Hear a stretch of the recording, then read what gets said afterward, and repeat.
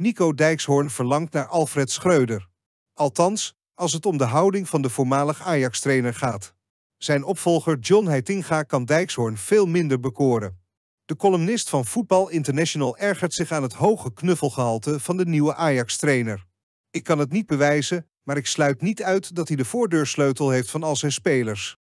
Terwijl Schreuder in de ogen van Dijkshoorn amper koos voor aanrakingen met zijn spelers, doet Heitinga juist het tegenovergestelde. Schreuder zette een rem op dat hysterische fysieke gedoe, al dus Dijkshoorn. Ik vermoed dat hij in zijn tijd bij Ajax geen enkele speler heeft aangeraakt.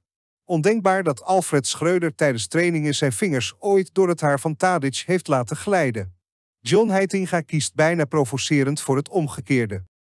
Dijkshoorn kijkt er niet raar van op als Heitinga de voordeursleutels van zijn selectiespelers heeft. Zodat hij, als de spelers wat extra warmte nodig hebben, onverwacht hun slaapkamer in kan lopen, schrijft Dijkshoorn gekscherend. Ik sluit het niet uit. Davy Klaassen in zijn onderbroek voor de spiegel in de badkamer en opeens John vlak achter hem. Armen om Davy's borst, John zijn hoofd tegen de rug. Daarna het gefluister, Davy. Jij gaat scoren, omdat je ertoe doet. Mooie rug heb je. Mag ik hem scheren? Volgens Dijkshoorn gedroeg Heitinga zich tegen Excelsior als een liefdesapostel. John hing als een zuigmossel om iedere Ajax-nek, luidt het oordeel. Echte coaches, echte leiders knuffelen niet en al helemaal niet wanneer er wordt gefilmd. Zelden zag ik een coach mediagenieker precies op de van tevoren bedachte plek om zijn spelers hangen. Ik zag ook nooit zoveel ongemak tijdens een omhelzing.